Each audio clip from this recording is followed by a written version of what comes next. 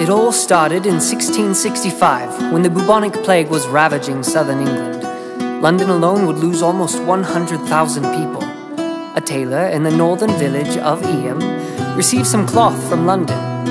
It was a little damp, so he unrolled it and hung it by the fire to dry. And that's when he was bitten by a few fleas looking for the next meal. Days later, he'd be dead. And the plague? The plague would begin running its course through the town.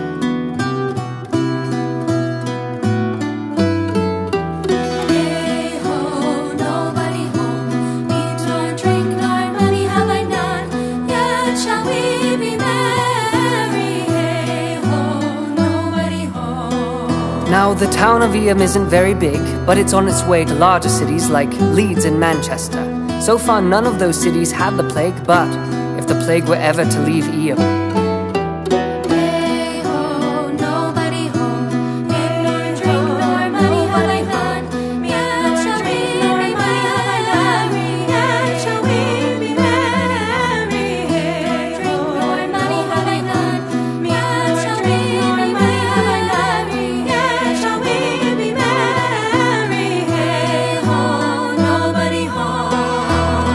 As the dire situation became clear, a young preacher came up with a bold plan. He called whoever could to meet in the town square. And there he presented his proposal. Either the plague dies here or we die with it. But today, it goes no further. They'd seal themselves off from the world in hopes of saving it. Soul, soul, a soul cake. Please, good Mrs. A soul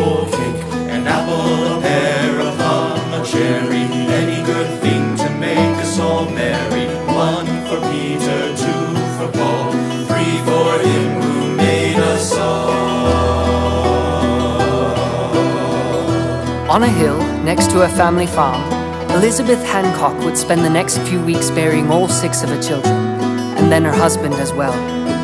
But she was being watched from another hill by a family from the next village over. As word of Eyam's sacrifice began to spread, the surrounding villages came up with a plan of their own. They would travel to just outside Eyam's front gate and check on the town.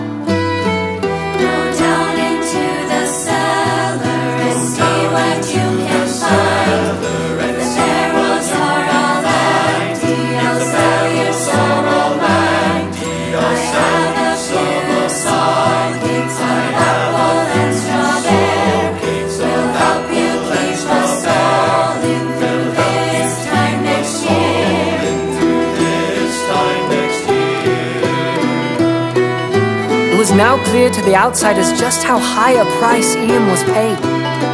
So, on Christmas Eve, after Eyam gave a meager response, they were met by new voices of grateful people from all the towns that Eyam's sacrifice had spared.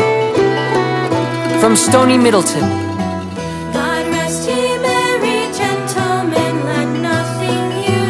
from Grindleford,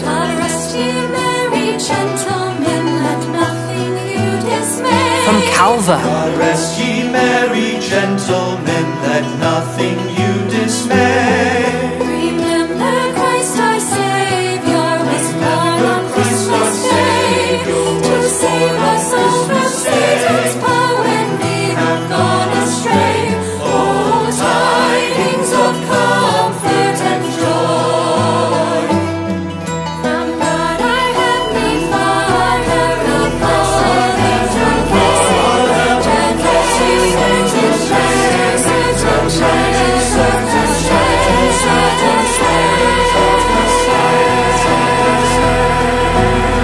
Sent their boys to the church.